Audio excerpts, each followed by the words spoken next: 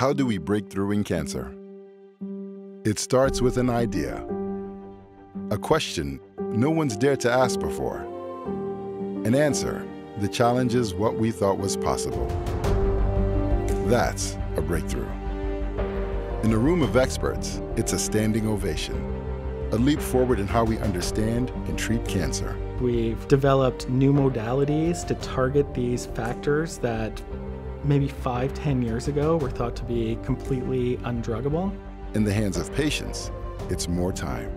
Cancer breakthroughs mean longer time with family, better responses, less toxicity, a better life.